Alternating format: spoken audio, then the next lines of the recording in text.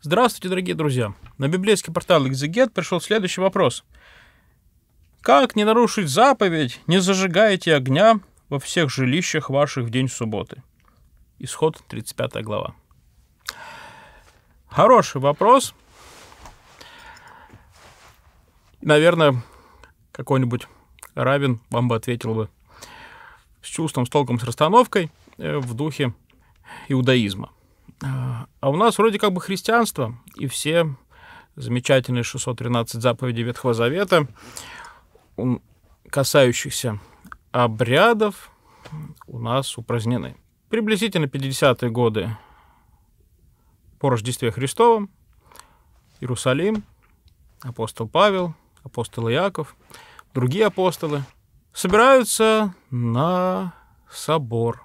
Первый апостольский собор, так называемый ну, приблизительно 51 год, на котором решаются очень важные вопросы, касающиеся принятию язычников в Христову Церковь.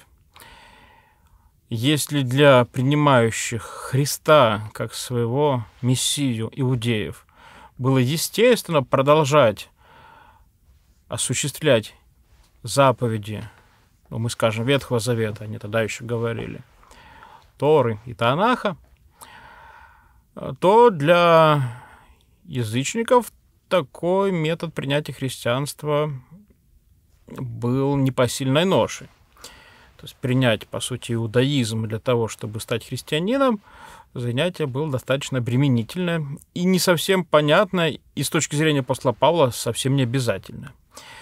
Он сразу крестил язычников, и главное, таинство, вокруг которого собиралась раннехристианская церковь, в том числе из язычников, это Евхаристия.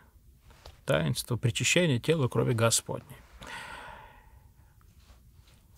Иерусалимская церковь не разрывалась в отношении с Иерусалимским храмом.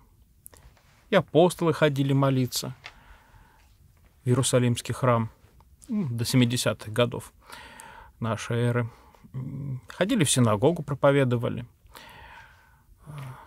с уважением относились к иудейским нормам, предписаниям, касающимся и дня субботнего. И вот апостол Павел врывается в эту первохристианскую общину и говорит, что не надо на язычников накладывать бремена неудобоносимые.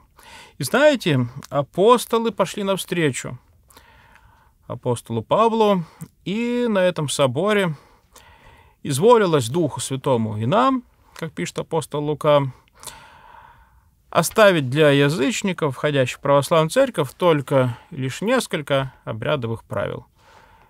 Не вкушать идоложертвенной пищи, не вкушать кровь в чистом виде, не вкушать мясо животных, которые были удушены, не, не есть удавлены.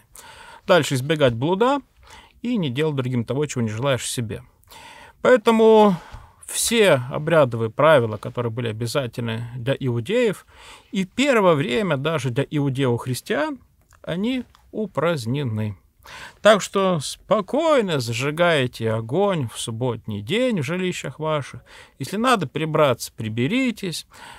Но помните, что шаббат, день покоя, это день особого упоминовения наших усопших родных покойников телами, не душами. Поэтому в этот день, если вы сможете прийти в храм на панихиду или дома помолиться о наших усопших родных, то это будет как раз исполнением заповеди почитания Дня Субботнего. И Богу слава, не обременяйте свою жизнь ветхозаветными заповедями, касающихся чисто ритуала. А что касается морально-нравственных отношений друг с другом, вот то исполняйте не желайте другим зла, творите добро, любите друг друга. Внеси свой вклад, оцени, подпишись и поделись этим видео.